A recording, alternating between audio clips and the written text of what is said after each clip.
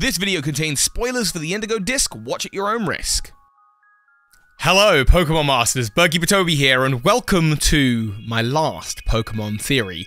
That's not to say this will be the last theory you'll see on the channel. There are six more videos coming before the end of the year, at least. Uh, that's providing that I don't find anything else in the Indigo Disc that's just of particular interest to me. But this is kind of my last original theory, and it's one you've heard me reference a bunch, and you've seen earlier versions of the theory. But now I want to put into it more detail than I ever have before, because there is a lot of convincing evidence for it, and that is the Arceus theory. So, we're going to start off, as all good research projects do, with our good friend over here, Wikipedia. And if you search the word Arceus, it's spelt a little differently, but you recognize that as the name of the Pokemon, right? Arceus. Well, it's where Arceus uh, gets its name, as well as obviously being Arc from Archangel, and Ceus, uh, I guess, comes from here. It's a term in alchemy, and the Arceus is made up of four main, uh, what you would call ethers. And the words that Wikipedia suggest, uh, the ethers that make up this, this Arceus, are chemical, life, light, and reflective. And those of you who've been following the channel for a while will know that I believe these to refer to different Pokemon, different legendary Pokemon that we've got over the last couple of generations. So let's start with what we know about the kind of creation mythos of Pokemon. We know that at the very top of it all, we have Arceus the creator god Pokemon.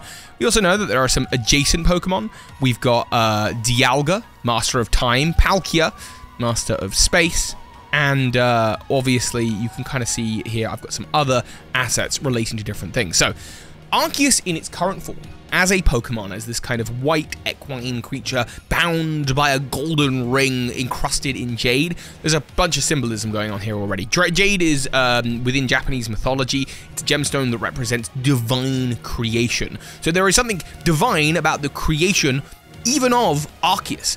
And Arceus in Pokemon Legends Arceus, there is a point where it mentions that it's taken this form. This is a form that it has chosen to take.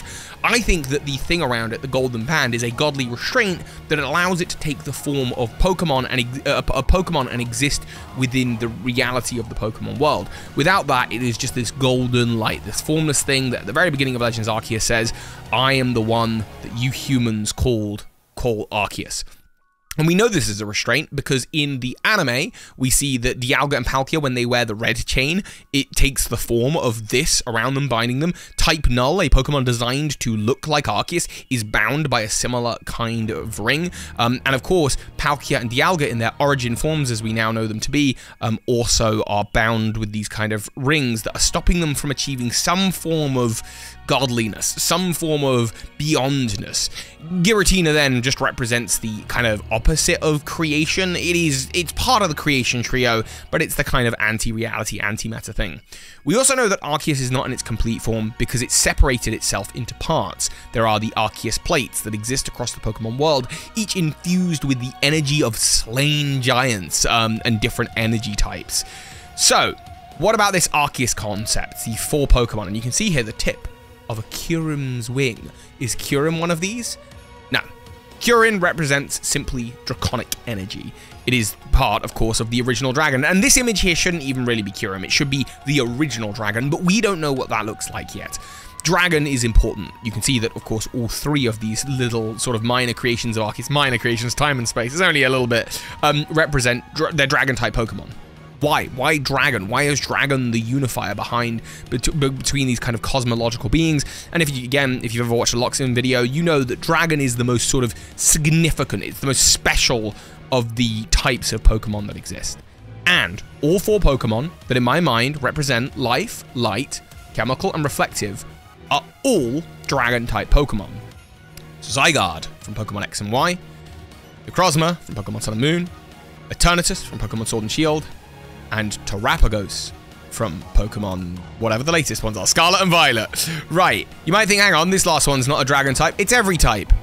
Terapagos represents every single type. It is, it's got some dragon in there, um, and that's fine for me. You might go through and be like, hang, I, wait, hang on. Okay, life, Zygarde is the master of the life death trio. That makes sense because Xerneas and Yveltal, life energy, light, obviously, with Necrozma. Reflective, yeah, I can see that with Terapagos because of the reflective crystals that are a huge part of its being. Everything is reflective. Uh, but chemical for Eternatus? Well, Eternatus is also part poison type. Why? I actually don't know. Maybe Lockstin did a video on that at some point, but I really don't know why Eternatus is poison and how chemical might tie into that. Maybe you might just think, no, look, there's too many weak links here. And here's what I'm going to say is as I go through this and point out the bits of evidence that kind of connect these four Pokemon, with each and every single one, there is a weaker strand somewhere in there. But there's so many similarities, I think it's somewhat intentional. For example, do you know all these Pokemon have ties to space? This is the Anistar City Sundial, uh, which is a meteorite that came from space. Here we go. Let me just make sure I've got it on screen. This is the 10 uh, Carat Hill in the Alola region, where you find Necrozma in Sun and Moon, a crash site for Necrozma. Necrozma's Pokedex entry talk, talks about how it fall, fell down to Earth. Um, Kyurem is the same. It talks about how it came from space. There's the giant chasm. Uh, there's the Dynamax uh, Max Raid lair, where there's said to be a giant meteorite in the in the middle, exuding the energy that kind of gives power to these uh, these Pokemon, turning them into Dynamax. And then, of course, there's Area Zero. Uh, you might think, yeah, hang on, is Zygarde related to this? Well, again, Zygarde's key energy is that of life and death. And when it opens its maw, by the way, when you see inside its, its kind of carapace, there are these gemstones that are, I think, white, blue, red, orange, and purple. And they represent life energy generally, which is, I guess, Mega Evolution, and then Xerneas, Yveltal, Solgaleo, and Lunala. Again, it's interesting to know that Zygarde did not get a Pokemon Z version. X and Y just happened and there was no follow-up. Its story was kind of awkwardly crammed into Pokemon Sun and Moon, and I think the cancellation, I think it's pretty good evidence to suggest there was a Pokemon Z game in development. I think the cancellation of that game kind of meant that we didn't get all of Zygarde's story there. Um, perhaps it's somehow reflected in Guzzlord, which has definitely come from space and is an alternate dimension version of Zygarde. I've talked about that in other videos. They, if you look at their designs, they're both, you know, giant dragon Pokemon that are found in the same locations, areas that look the same. Doesn't matter. Not important right now. Um, you'll notice that all of these Pokemon are not in their complete forms. All of these Pokemon, uh, when you first encounter them, are, you know, it's a 50% Zygarde. Solgaleo and Lunala are without Necrozma. It's only when they're combined together they become the Ultra Necrozma. Only once all of Zygarde cells are together it becomes perfect Zygarde. It'll only be when Reshiram, Zekrom, and Kyurem are combined we'll get the original dragon. We've not seen that yet. We've only seen them half combined with um, Black Kyurem and White Kyurem. Eternatus, only once it's in, sort of reabsorbed all of the Eternamax, uh, Gigantamax energy out there, does it become the Eternamax Eternatus. And Terapagos, only once it terastallizes as the stellar type, does it become the, the stellar uh, Terapagos. So all of these Pokemon, that, that, that is a shared trait amongst them, uh, which is just particularly interesting.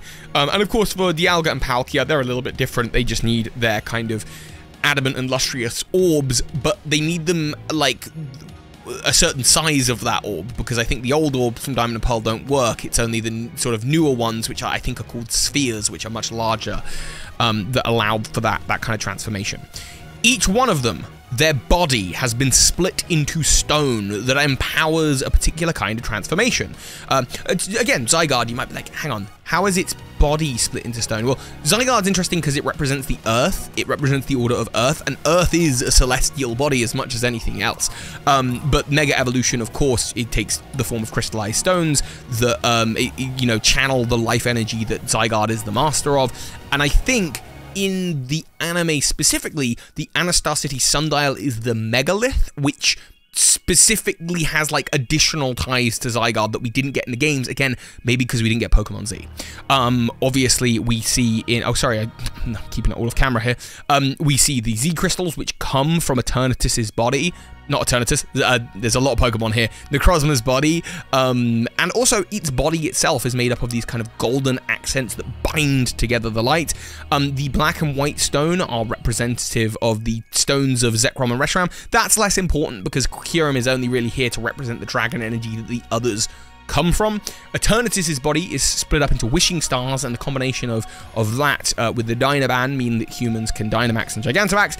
And then the Tera Orbs, and then of course the Tera Crowns have the little face of Terapagos in them. We know that that's the face of Terapagos because Stellar type Pokemon, when they um, terastallize, have a whole Terapagos on their head, implying the idea that Terapagos, from where it lay lays in uh, Area Zero, can see everything else going on in the Pokemon world. Perhaps the Tera Crowns take the forms they do based on what Terapagos has witnessed, which is why Steel type is a giant axe, and the Ground type is a giant Colosseum-y, um, uh, stadium-y place. Uh, okay, so these phenomenons. We've got Mega Evolution, which changes the shape of the Pokemon and powers it up. Z moves, which amplify the power of the Pokemon, and Totem Pokemon, which uh, are, are, the size of the Pokemon. So we've got changing uh, shape and power. It's separated in this case. Again, no two are the same. I've put Regidrago here. This is not it's just Dragon Energy. But we know Dragon Energy was once a crystallized thing because Regidrago has a Pokedex entry talking about how uh, it was once um, crystallized Dragon Energy.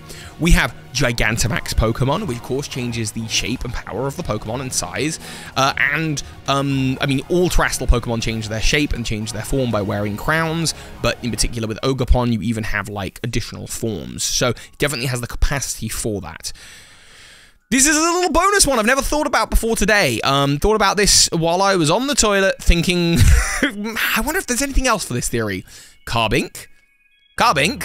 What about Carbink? Well, Carbink is a Pokemon that we know that Diancie looks like the Anastasia City Sundial. It's the same uh, shape. It's also the only Kalos Pokemon that can achieve Mega Evolution. You can find it in Reflection Cave around where the ultimate weapon is, and it's just this little one-stage, floaty, spherical Pokemon that's somehow related to the phenomena of the region. Minior 2. It represents in all its different colors the refraction of light, um, and in its shiny looks a lot like the colors of Necrozma. Uh, for, of course, the latest generation, we have Glimmora, so, and we know that Glimmora's got ties to um, Area Zero and to possibly the Terastal tree down below. What about, hang on, is this another weak link? Yeah, it is. It's a slightly weaker link, which is Stonjourner.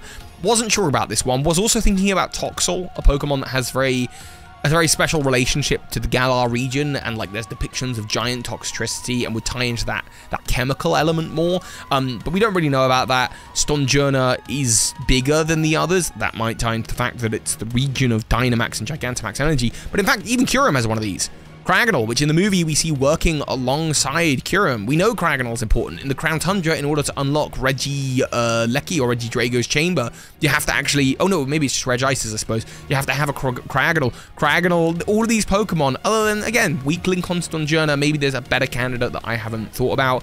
Like maybe Meltan even? I just don't know. Um, you'd have to let me know. You'll have to continue theorizing without me when I'm gone. And I mentioned trees earlier each of them has a tree associated. So we have the um, Hoenn tree that AZ planted um, that has grown, and AZ's Floette's flower can be seen. You can barely see it here, but it can be seen right here in the bottom in the bottom corner AZ's Floette's flower. Um, this tree is outside the Cave of Origin where this energy is particularly strong. However, maybe a tree is the wrong thing. Maybe we should just be looking at the ultimate weapon itself, which takes the form of a giant crystal plant. The uh, battle tree which is a ginormous totem-sized tree. I say totem-sized. The idea is it's just become bigger in the in the same kind of way. A tree that where where battles take place. I haven't got anything for Kyurem, and again that's fine because Kyurem is different. Um, we've got the Dyna tree, and actually in the very back of the Crown Tundra, right up the top of the Crown Tundra where Calyrex is, there's another tree. So what's the special symbolism here? We're not sure. We don't know anything about this tree down in the bottom of Area Zero yet, but each one has a special significant tree. Um, and I get that's just that's just really interesting to me. So this is kind of the, the, the bottom here, and you'll notice before I get into Gen 3 and 2 that there was a special tree in Legends Arceus in which Kleavor was at the front of, and Kleavor is here fueled by the power of Arceus directly, a light energy that makes it become bigger and stronger, these noble Pokemon. So you can see how all of these phenomenons tie back to Arceus in that way as well. And I just think that's super duper interesting. We've got generations 4, 5, 6, 7, 8, and 9 covered. What about 1, 2, 3? Well, isn't that the question? Three, I mean, we've seen in Oras Rayquaza, and maybe Rayquaza is tied into this somehow in a way that I don't quite understand. Um, and there certainly is some symbolism going on that I don't understand. Uh, I'll get to that in a little bit of a in a little moment. Um, but we do have gemstones, you know, associated with that in the red and blue orb. Um, so I don't quite know how it ties into this because it's not like Rayquaza is the master of its own phenomenon. They're just kind of weather deities. But again, maybe something I'm, I'm missing here. And the other one, Gen 2, yeah, Gen 2 we have the least idea about. Could be to do with Lugia, could be to do with Ho-Oh, could be to do with Celebi. I suspect if we see a Legends Johto game or a remake game in the future, this will get answered because you'll have noticed that while Groudon and Kyogre have their origin forms, and Dialga and Palkia have their origin forms, or sorry, primal forms for um, Groudon and Kyogre, and uh, Kyurem has two different forms for Zekrom and Reshiram, and uh, Solgaleo and Lunala have fusion forms with Kyurem, and uh, Zacian and Zamazenta have active and inactive forms, and Koraidon and Miraidon have loads of different forms depending on how many sandwiches they've eaten, and uh, again, weak link with Kalos here, surprise, surprise, um, Xerneas and Yveltal have an active and an inactive form when it's when Xerneas is sleeping as a tree and when Yveltal is the cocoon of destruction. The only box legendaries that don't have new forms are Lugia and Ho-Oh, so I expect they're due soon. And Generation 1 and I think how that ties in is is pretty obvious. I've always theorized that they re Mew represents the kind of first biological life form on from the deities, on from Uxie, Azelf, and Mesprit, who represent willpower, knowledge, and spirit, and so that that's what Mew's kind of role is within this cosmology. It's the beginning of the tree of evolution, but the tree of legendary Pokemon, how does that all tie together? Well, this might be a pretty good start as to understanding, and I say start because I think we're going to be understanding pretty soon. Because we have just had, and again, this is where you might be like, Toby, you are off on one here, but we have just had Hydraplin. Hydraplin? Hydrapple. A seven-headed serpent that comes from an apple apples have a lot of religious uh, significance, but most famously, you're probably familiar with the apple of the tree of knowledge, and it's all about trees. The seven-headed dragon, seven-headed serpent, it's dragon type. Seven dragons, one, two, three, four. Kyurem, five. Dialga Palkia, six, seven. Maybe Kyurem doesn't count because it's the source of dragon energy. Maybe Giratina counts. Maybe Rayquaza counts. I'm not really sure. Maybe there's some symbolism here, like I say, that I don't quite understand. But this is where I'd recommend looking into um, the works of on Twitter. I truly recommend looking at the Twitter of uh, Eduardo uh, Nintendokusou, who talks a lot about this the religious tree of life, um, the tree of knowledge, the tree of life. Um, I think this is Hebrew but I'm honestly not sure. I'm really ignorant on this particular thing and how it ties in with multiple different Pokemon. Um, but this is the kind of stuff that is beyond my understanding, but is well within the understanding of uh, like Lockstin. He's done a lot of videos on this, I think with help from Eduardo as well, about how these Pokemon all tie together. But it is very specifically a tree of life. But now we have the knowledge, which is the apple of the seven-headed dragon, and we're about to come up to Generation 10, the 30th anniversary, over a thousand Pokemon, and we have, I think now, now we've completed the Arceus with Reflective, I think we have our seven heads of the dragon. So I think what we see next, that that's what whether it's Gen 10 or what comes just after Gen 10 is going to be the kind of big shift in the Pokemon cosmology. Oh, I think we're going to learn something new about the Pokemon universe. Perhaps finally we'll get more resolution on this talk of giants, which I just think we've had so many references to giants over the last few generations. Again, Mega Evolution, I mean, Zygarde itself is a giant. Totem Pokemon, the giants whose energy made the plates, uh, Gigantamax Pokemon, generally. The idea that the Paldea region is a giant Terapagos, or the giant inside the Oni Mountain. In the Crown Tundra, there was a Regigigas that was sleeping under the giant's foot. Like, I think there's a lot of ways. Uh, heck, even the noble Pokemon are giant. Did you see that, Avalugg? So I wonder if that's the next frontier, the thing they've been building up to. Now, I, I want to put a little caveat here because there is something else. It is totally possible that this Pokemon theory is nonsense. It is totally possible that I am huffing the most copium possible because I don't want to admit the fact that Pokemon just might be kind of bad at telling big cosmological stories that it's just not their forte. That they sort of came up once of the idea of there being a legendary trio whose leader came from space that represents the dragon type that is responsible for the phenomenon of that local region, and that this trend, this pattern, isn't because they're all parts of something that are tying together, that light, life, chemical, and reflective don't reflect these Pokemon at all, but in fact, that just Pokemon's just kind of lazy with telling stories. That's also totally possible. that all of these that I'm tying together are coincidences from a Pokedex of over a thousand Pokemon, from stones that are like, you know, it's a classic thing of any fiction. The, the Chaos Emeralds, the Dragon Balls, the stones are just kind of a thing that they throw in there as the MacGuffin of every generation. That these transformations are nothing more than gimmicks to sell you stuff. That's totally possible. By, by the way, if you do want to see a video though, deep diving into the lore of the stones, I did a video on that. Link will be somewhere around the screen. Um, it's totally possible that that's just the case, that this is all just copium. I won't be around long enough on this platform to know because I'm about to go on a big break for a while and by the time I come back this might all be answered or perhaps we'll be on to the next generation of the dragon that's fallen from space. Or maybe I just don't know how to count. Maybe there are still three more dragons to go representing three different ethers. I guess it's going to be hard to debunk until we're another nine generations along, you know? Well, another four generations along, but still, that'll be a while. Actually, four generations is only like a decade and a bit, so I'll only be 40 something by then though, is the tree of legendary Pokemon life eh, at its beginning. Maybe this is a theory you, as a Pokemon theorist, will continue. I would love to see more Pokemon theorists pop up in the community. There are so many fantastic theorists. Do I even begin shouting them all out? You've got Hybrid Hero and Espy Juju, you've got Dusty Gogo, Cayla's Capsule, Lumiose Post, uh, Soul Silver on, on Twitter. Eduardo, of course, who's not really a theorist, but is someone you should just follow on Twitter. I'm going to leave a link to all of these people and probably more in the comment section down below. I just can't think of everyone off the top of my head.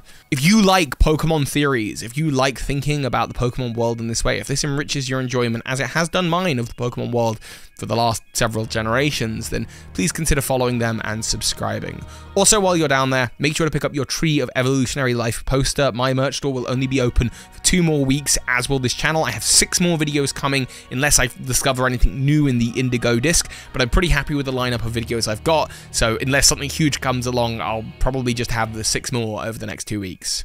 I think the day that the last video will be live on this channel will be December 29th, possibly December 30th.